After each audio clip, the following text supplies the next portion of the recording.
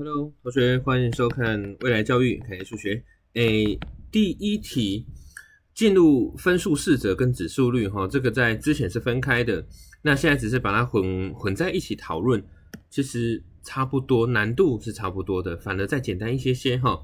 好来，第一个国小你可能就会看到了等值分数，如果六分之五的分母加上一百二，那分子应该要加上多少，它的值才不会变？好。呃呃，绝对不会是一百二哦哈！你们会觉得下面加一百二，上面也加一百二就不变呐，短逃啦。二分之一上下加一，三分之二不一样嘞哈！所以你知道吗？原来它就叫做六分之五。那如果分母加一百二，那不就变成一百二十六吗？对不对？那当下面变成一百二十六的时候，上面要加多少？好，我不管，我先写框框，再讲一遍。六分之五的分母加一百二变一二六，那六分之五跟一二六分之框框是要一样大的。好，我们现在算出框框，不要觉得太难哦哈。六变成一二六，这是一个很漂亮的二十一倍。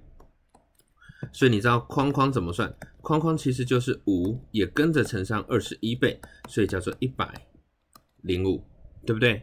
好，继续，五加上多少会变一零五？Hello，五加上。多少会变成我要的一百零五？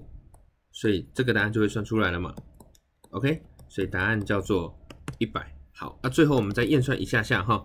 你说老师，一个是六分之五，那如果下面加一百二就变一二六，上面加一百会变成一零五，这两个有一样吗？乖乖约看看。好，我们就用最简单的方式，最原始的方式，除以三，四十二，除以三，三十五。除以七六除以七五，好，确定我们是对的。这一题的答案是一百。